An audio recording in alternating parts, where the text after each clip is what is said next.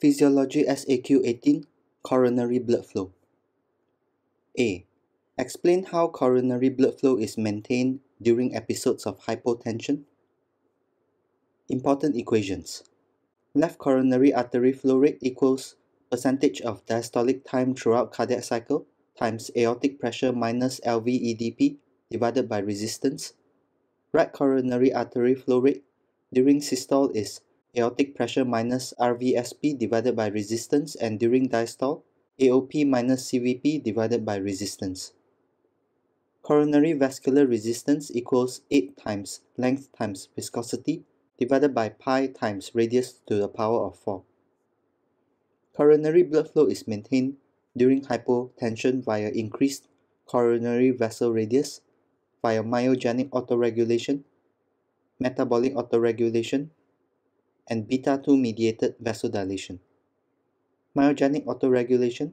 During reduced aortic pressure, there is reduced coronary artery stretch, and this leads to reflex vasodilation. The autoregulatory range is between coronary perfusion pressure of 60 to 180 mmHg. Metabolic autoregulation occurs when there is increased myocardial oxygen consumption, leading to increased PCO2, hydrogen ions, potassium ions, adenosine and lactate production, which leads to increased nitric oxide secretion and vasodilation. This overrides sympathetic mediated vasoconstriction. During hypovolemia, there is baroreceptor reflex and increased sympathetic tone, leading to increased adrenaline and beta-2 adrenoceptor mediated vasodilation. Second mechanism is increased aortic pressure. Hypovolemia leads to baroreceptor reflex and sympathetic tone increases, along with renin-angiotensin-aldosterone system activation.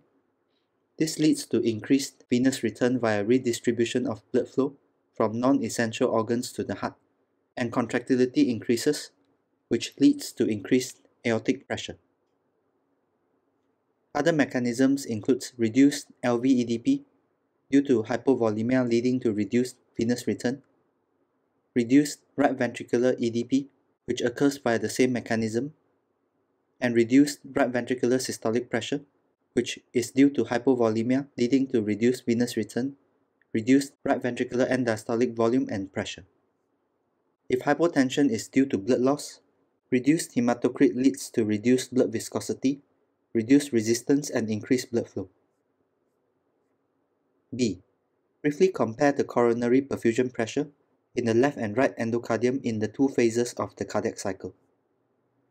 Blood flow for both the coronary arteries are from the aorta, with the aortic root pressure as the driving pressure for perfusion. Both the right and left endocardium experience a difference in pressure, whereby the right endocardium is exposed to a systolic and diastolic pressure of around 25 and 5 mm mercury respectively. The left endocardium is exposed to a systolic and diastolic pressure of around 120 and 5 mm mercury respectively. Both coronary arteries have a difference in coronary perfusion pressure, which is derived from the equation coronary perfusion pressure equals aortic root pressure minus intraventricular pressure or left or right atrial pressure or venous system pressure, whichever is higher.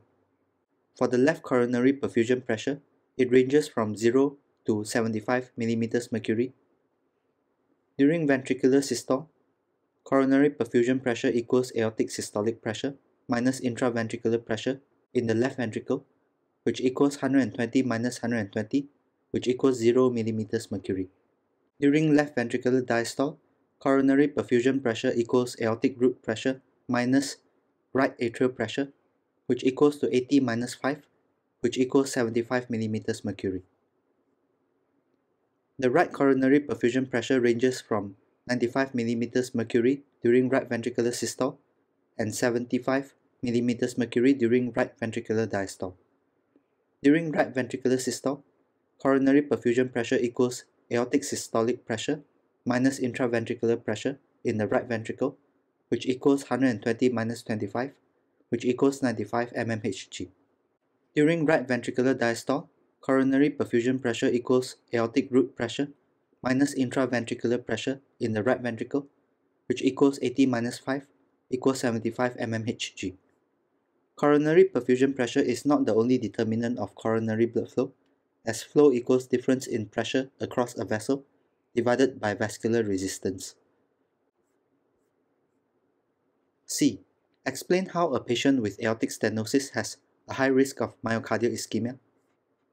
Aortic stenosis refers to narrowing of aortic valve orifice, which may be due to degenerative, rheumatic heart disease or bicuspid aortic valve. With reduced left ventricular outflow tract radius, there is increased resistance to flow and high afterload state. A patient with aortic stenosis has high risk of myocardial ischemia due to imbalance between myocardial oxygen supply and demand. Factors causing reduced myocardial oxygen supply in aortic stenosis. Factors causing reduced left ventricle delivery of oxygen includes reduced diastolic time. Aortic stenosis leads to left atrial enlargement, risk of AF and tachycardia. Atrial kick is more important for the non-compliant left ventricle, which hypertrophies due to aortic stenosis.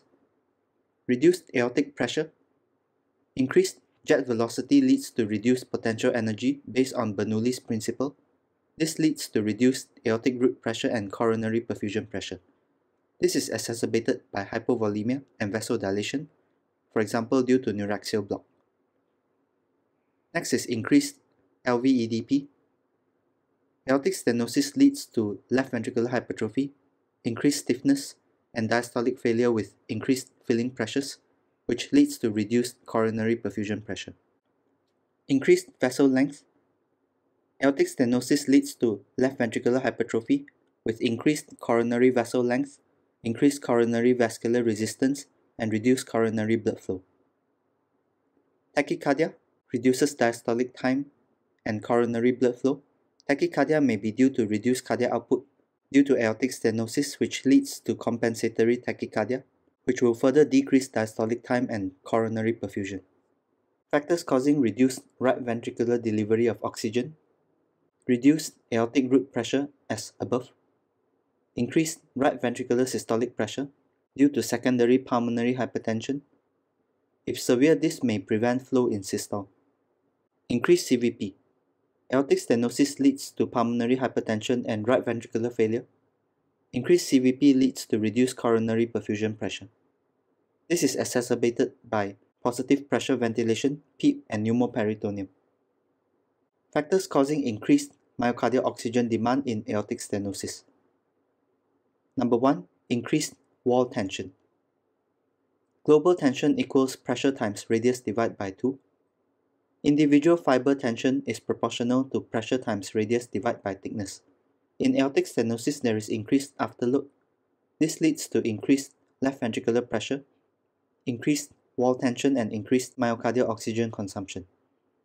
In LV failure due to aortic stenosis, there is left ventricular dilation, which increases the radius of the left ventricle, which leads to increased wall tension and myocardial oxygen consumption. Second reason is increased basal oxygen consumption, as aortic stenosis leads to left ventricular hypertrophy and increased myocardial mass increases myocardial oxygen consumption. Next reason is increased heart rate. There is increased risk of atrial fibrillation and tachycardia during aortic stenosis which leads to increased myocardial oxygen demand. Last is increased stroke work. Aortic stenosis leads to increased afterload due to outflow tract narrowing, which increases pressure work and myocardial oxygen consumption. Thank you.